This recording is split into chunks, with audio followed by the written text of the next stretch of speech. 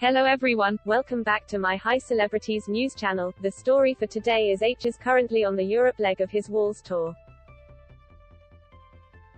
And Louis Tomlinson took to the stage in Oslo, Norway on Sunday during his world tour, which kicked off in America back in February, in support of his debut album Walls.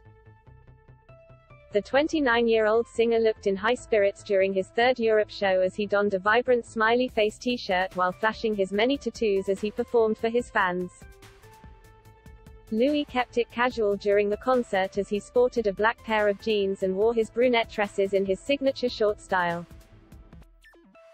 Due to the pandemic, his 2020 tour dates had to be pushed back, first to 2021, and then again to this year but the Back to You hitmaker oozed confidence on stage as he sung into the microphone while pointing at his fans.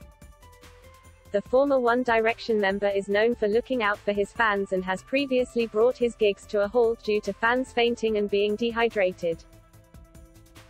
Louis is touring to support his debut LP Walls, which was released shortly before the coronavirus pandemic overwhelmed the globe on January 31, 2020. The album debuted in the top 10 on the Billboard 200 Albums chart, though it earned mostly middling reviews from critics.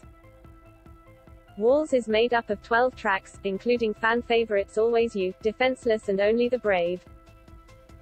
The singer soared to fame as one-fifth of One Direction, made up of Niall Horan, 28, Liam Payne, 28, Zayn Malik, 29, and Harry Styles, 28. On The X Factor in 2010 the band has been on a hiatus since 2016 as they all launched solo careers after Zayn quit.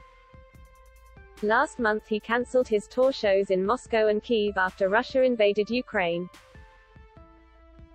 He took to Instagram to say his thoughts go out to the people of Ukraine and all those suffering from this needless war. Vladimir Putin personally gave the order to attack Ukraine at around 5 a.m. on Thursday, unleashing a salvo of rocket fire in order to knock out the country's military command structure. Louis penned, due to the recent events in Ukraine, I have to sadly announce that my tour shows in Moscow and Kiev are cancelled until further notice. The safety of my fans is my priority and my thoughts go out to the people of Ukraine and all those suffering from this needless war. That is all for today news. Please make sure to leave your comment and subscribe the channel below for more news update. Thank you for watching.